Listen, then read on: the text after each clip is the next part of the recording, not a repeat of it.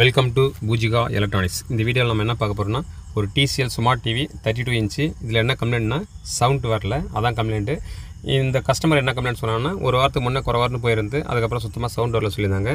சரி இந்த ஃபால்ட்டை நம்ம எப்படி சரி பண்ணுறோன்னு நீங்களும் பார்த்து தெரிஞ்சுக்க வாங்க வீடியோக்குள்ளே போகலாம் இப்போ பார்த்தீங்கன்னா நம்ம சிஆர்டி டிவியில் பார்த்தீங்கன்னா அடிக்கடி சவுண்ட் ஐசி போகும். அதான் ப்ராப்ளம் கொடுக்கும். ஸ்பீக்கரு அதில் போகாது.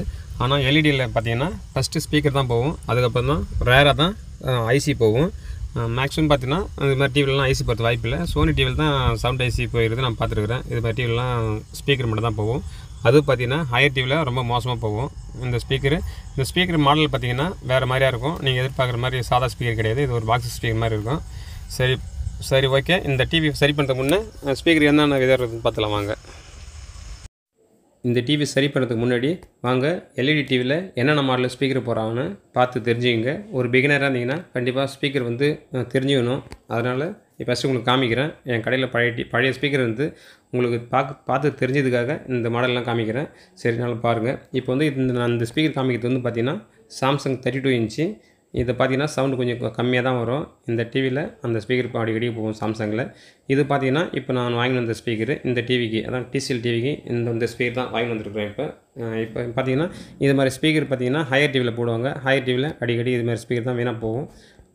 இது பார்த்தீங்கன்னா இது எல்ஜி சப்பு புரியுது இது. பார்த்தீங்கன்னா எல்ஜி டிவியில் ரெண்டு லெஃப்ட் ரைட் தனியாக வச்சுருப்பாங்க. இது சென்டரில் சப்புக்காக வச்சுருப்பாங்க. இது வந்து ஒரு சப் ஊப்பர் தான். சவுண்டு சூப்பராக இருக்கும் இந்த டிவியில் இதெல்லாம் போகாது. மாடல் மட்டும் காமிக்கிறேன். அப்புறம் இந்த ஸ்பீக்கர் பார்த்திங்கன்னா சாம்சங்கில் பார்ட்டி த்ரீக்கு மேலே போடுவாங்க. பார்ட்டி த்ரீலேருந்து ஃபிஃப்டி ஃபைவ் இன்ச் வரைக்கும் போடுவாங்க. இது சாம்சங் ஸ்பீக்கர் மாடல் சும்மா மாடல் காமிக்கிறேன். ஏன்னா ஒரு பிகினாக இருந்தீங்கன்னா உங்களுக்கு ஸ்பீக்கர் எப்படி இருக்குன்னு தெரியாதுன்றதுக்காக ஃபஸ்ட்டு டி ஸ்பீக்கர் எந்தெந்த மாடல் ஸ்பீக்கர் இருக்குதுன்னு சொல்லிட்டு ஒரு நாலஞ்சு மாடல் காமிக்கிறேன். இதெல்லாம் பழைய ஸ்பீக்கர் நான் கடையில் வச்சுருக்கிறேன். அதனால் மாடல் காமிச்சா உங்களுக்கு புரியுன்றதுக்காக தான் இந்த ஸ்பீக்கரெல்லாம் உங்களுக்கு காமிக்கிறேன். எல்இடி டிவியில் பொறுத்தளவுக்கு வித விதமாக மாறும். ஸ்பீக்கர் மாறிட்டே இருக்கும். அதுக்கப்புறம் இது பார்த்தீங்கன்னா இந்த ஸ்பீக்கர் பார்த்தீங்கன்னா LG thirty two inch model இது. இது பார்த்தீங்கன்னா சப் இது கொஞ்சம் சவுண்டு கொஞ்சம் டெப்த் அதிகமாக வரும் வாட் அதிகம் இது. அப்புறம் இந்த ஸ்பீக்கர் ஒரு எல்ஜி எல்ஜி ஸ்பீக்கர் தான் இது. இது பார்த்தீங்கன்னா ஒரு நாற்பத்தி மூணுக்கு மேலே இந்த ஸ்பீக்கர் போடுவாங்க. வாட்டு கொஞ்சம் கம்மியாக போடுவாங்க. டிவி வந்து அதிகமாக சைஸ் பெருசாக பெருசாக வாட்டு கொஞ்சம் குறைச்சிடுவாங்க. இது எல்ஜி இதுக்கு பார்த்தீங்கன்னா இது ஒனிடா மாடல் இதுதான் பழைய மாடல் எல்லாருக்கும் தெரிஞ்ச மாடல் இது. இது சாதா டிவிலையும் வைப்பாங்க. இப்போ நம்ம எல்இடி டிவியில் வைக்கிறாங்க இந்த மாடலில் ஆனால் எல்லா ஸ்பீக்கருக்கும் வந்து ஸ்க்ரூ போகிற மாதிரி இருக்காது. எல்லாம் லாக்கு தான். ப்ரெஸ் டைப்பு இதையும் ப்ரெஸ் டைப் தான். இப்போ இது வரைக்கும் முன்னே காமிச்சது ஃபுல்லாக ப்ரெஸ் டைப் தான். நம்ம சால்விங் பண்ணுற டைப்பும் கிடையாது. எல்லாத்துக்கும் பார்த்தீங்கன்னா ஜாக் மாதிரி இருக்கும். அப்படியே லைன் கொடுத்துட வேண்டியது தான் இது ஒனிடா டிவி இந்த ஸ்பீக்கர்லாம் அவ்வளோ சீக்கிரம் போகாது. ஐசி தான் போகும். அதுக்காக உங்கள் மாடலுக்காக காமிக்கிறேன்.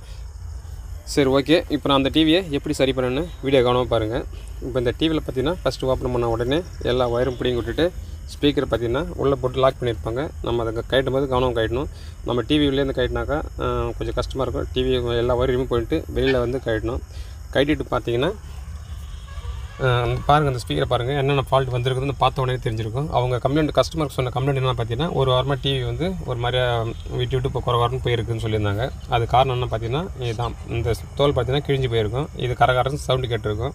அதுக்கப்புறம் ஒரு ஸ்பீக்கர் அந்த ஸ்பீக்கர் பாடியிருக்கும். சில டிவியில் பார்த்தீங்கன்னா சீரிஸில் போட்டிருப்பாங்க. ஒரு ஸ்பீக்கர் வீணாக போனாலும் ரெண்டு ஸ்பீக்கரும் பாடாது. ஆனால் ஸ்டீரியஸ் டிவியில் பார்த்தீங்கன்னா ஒரு ஸ்பீக்கர் வீணாக போனால் இன்னொரு ஸ்பீக்கர் இன்னொரு ஸ்பீக்கர் பாடும். இந்த டிவி மாடல் பொறுத்தவரைக்கும் டிடிஎஸ் சவுண்ட் சிஸ்டம் இது. இதில் பார்த்தீங்கன்னா லெஃப்ட் ரைட்டு தனித்தனியாக கொடுத்துருப்பாங்க. ஒரு ஸ்பீக்கர் வீணாக போனாலும் இன்னொரு ஸ்பீக்கர் பாடுற மாதிரி தான் இருந்திருக்குது. அவங்க குறை குறைன்னு கேட்டிருக்கோம் அப்படியே பார்த்துருக்காங்க இப்போ போக போக சுத்தமாக ரெண்டு ஸ்பீக்கர் வீணாக போகும். நமக்கு சர்வீஸுக்கு எடுத்துருந்துருக்காங்க இப்போ நம்ம என்ன பண்ணோம் இந்த ஸ்பீக்கரை வந்து சேஞ்ச் பண்ணிவிட்டு ஒரு ஸ்பீக்கர் மாற்ற கூடாது ரெண்டு ஸ்பீக்கர் சேர்ந்தே மாற்றணும் ஏன்னா ஒரு ஸ்பீக்கரில் ப்ராப்ளம் இருந்தாலும் மறுபடியும் மறுபடியும் ரிப்பீட் வர வாய்ப்பு இருக்குது. அதனால் நம்ம ரெண்டு ரெண்டு ஸ்பீக்கரும் எப்படி மாற்றணும் கவனம் பாருங்கள் இது ஒரு ஈஸியான வேலை தான் இது. இருந்தாலும் இது மாற்றுறது கொஞ்சம் கஷ்டமாக இருக்கும். சில பேர் திங்க் பண்ண மாட்டாங்க. ஐஸ் ப்ராப்ளமாக கண்டுபிடித்து கொஞ்சம் ஈஸி கஷ்டமாக இருக்கிறதுனால உங்களுக்கு நான் தெளிவாக இந்த வீடியோ நான் சொல்கிறேன் இதுதான் வந்து புது ஸ்பீக்கரு இந்த ஸ்பீக்கரை வாங்கி நம்ம லா லைனிங் எல்லாம் பார்த்தா ஜாயின் எல்லாம் பண்ண தேவையில்ல. கரெக்டாக நம்ம வந்து செட் பண்ணால் போதும். இதை நான் எப்படி செட் பண்ணுறேன்னு கவனம் பார்த்து தெரிஞ்சுங்க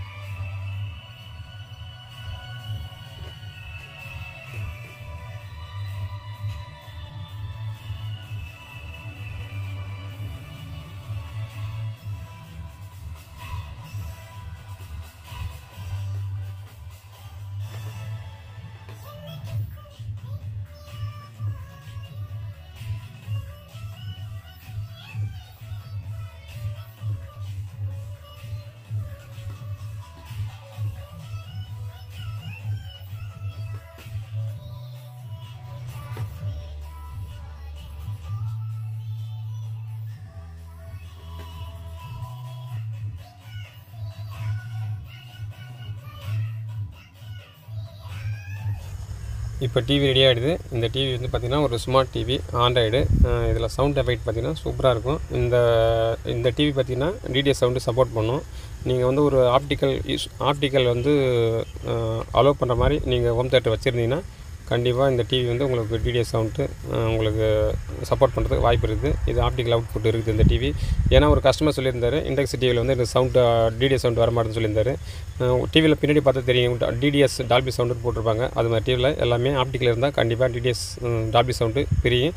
அதுக்கு ஹோம் தேட்டர் சப்போர்ட் பண்ணும். போன வீடியோவில் சொல்லியிருந்தேன் இந்த வீடியோவில் சொல்கிறேன் ஏன்னா அந்த கஸ்டமர் பா அந்த சப்ஸ்கிரைபர் பார்ப்பார் நினைக்கிறேன். அதுக்காக தான் அந்த வீடியோவை தெளிவாக சொல்கிறேன் சவுண்டு நீங்கள் இந்த ஹோம் தேட்டர் நல்ல ச ஹோம் தேட்டர் வச்சிங்கன்னா இது மாதிரி டிடிஎஸ் உள்ள டிவி வாங்கி பயன்படுத்தினீங்கன்னா சவுண்ட் எஃபெக்ட் சூப்பராக இருக்கும்.